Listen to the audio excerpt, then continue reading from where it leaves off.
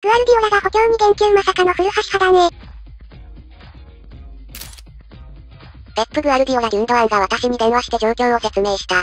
彼は復帰できると言ったので、私はすぐにはいと答えた。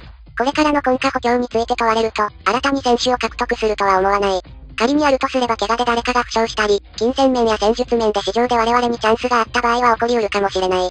だが、今のところそうは思っていない。まあそうだろうね古橋がダメとかじゃなく、今のシティガさん大リーグ以外で活躍した29歳 FW を獲得する必要性が低い。市場が閉じた時に何が起きているかはわからないとも言ってますからね。市場が閉じるまで、夢を見させていただきます。マンシーダメでも、これで古橋に関心持ったビッグクラブから土壇場でワンチャンないかな。監督によるこういうコメントも、交渉の一環なんじゃないかな。できるだけ高く売りたいセルティック側を牽制する狙いがありそう。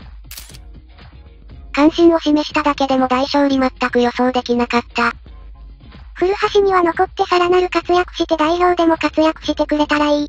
あの監督が呼んでくれないとダメだけど。リバプールやユナイテッドみたいにある程度ベンチ外を作るならまだしもペップはあまりベンチ外作りたくないからね。それこそ何かしらのアクシデントがない限りないだろう。古橋が2000万ポンド以上なら、高いと思いますので、取らなくて良いと思います。古橋以外の若手 FW の候補は気になりますが。最後まで夢見よ。